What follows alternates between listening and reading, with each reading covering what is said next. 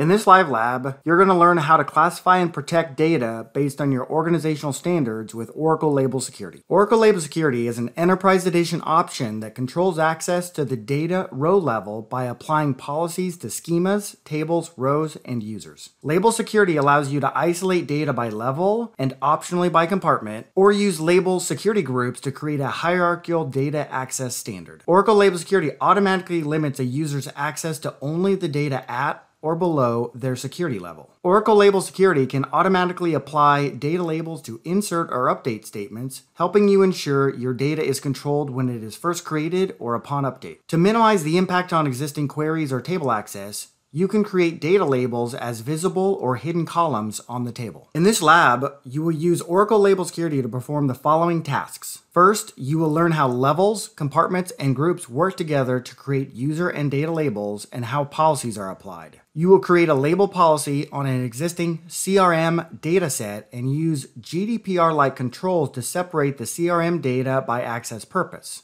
You will see how marketing data can be separated from analytic data and how label security can help you allow your customers to consent or opt out of CRM marketing emails.